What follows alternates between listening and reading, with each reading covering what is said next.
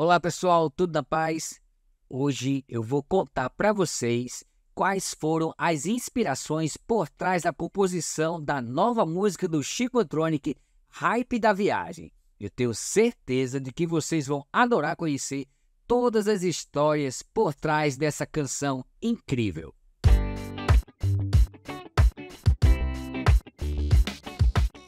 A primeira inspiração veio da minha querida Kombi, a Máquina Mistério.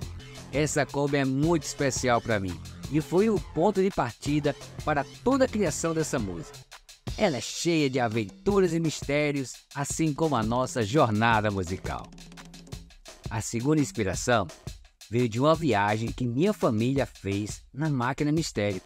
Nós cruzamos todo o Brasil, desde o Rio Grande do Norte até o Rio Grande do Sul.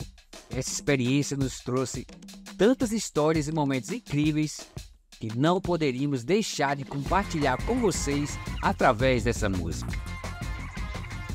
A terceira inspiração veio do casal Kamaya e Vicky e a sua cadelinha Oni. Eles são do canal Kombi Nômades. Eles estão na estrada em uma Kombi Corujinha ano 74, com a meta de cobrir a rota que vai do Ushuaia ao Alasca. Essa coragem e determinação foram uma grande inspiração para mim durante a composição. Além disso, tivemos o incrível produtor musical Edu Santana, o Potinx, trabalhando conosco nessa música. Ele se inspirou na canção Ride on the Storm do The Doors para criar a base musical que vocês vão ouvir em Hype da Viagem. Agora, anote aí na agenda, hein? O lançamento será no dia 8 de agosto no podcast Caco Convida no YouTube e Spotify.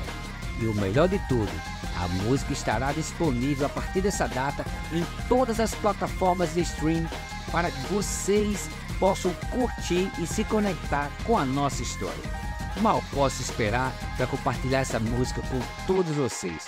Eu tenho certeza de que vocês vão se divertir e se inspirar tanto quanto nós durante essa jornada musical. Não percam o lançamento, hein? E vamos juntos nessa viagem cheia de hype.